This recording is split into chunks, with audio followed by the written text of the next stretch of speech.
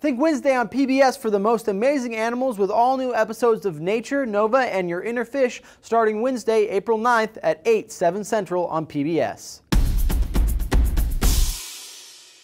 Hey, I'm Alex Farnham, and this is Animalist News. Have you guys seen this animal before? Weighing in at little over a pound, this elephant shrew is nearly 50% heavier than other shrew species. The name elephant shrew comes from its long, flexible nose, which can twist and turn to grab food just like an elephant's trunk. So, here's the question. Is this a giant shrew or a tiny elephant? Funny enough, researchers at Kenya Wildlife Services now say that this critter's DNA is more closely related to elephants than shrews. Elephant shrews are a part of an ancient group of animals that evolved in Africa over 100 million years ago and share common ancestors with elephants and aardvarks.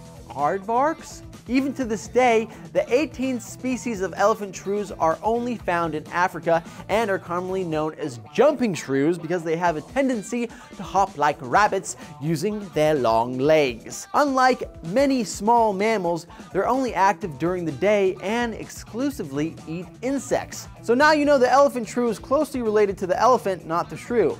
If you thought this was interesting, then you should check out what's happening over at PBS. They have some cool animal shows going on over there. From deer and dogs to frogs and fish, think Wednesday on PBS for new stories from nature, Nova, and your inner fish. It all starts Wednesday, April 9th at 8, 7 Central on PBS. Think Wednesday, think PBS. So, if you could have a miniature animal, what would it be? Let me know in the comments down below. Be sure to subscribe, check out these other videos over here, and I'll see you here in Mammals later. How do you do the elephant thing like?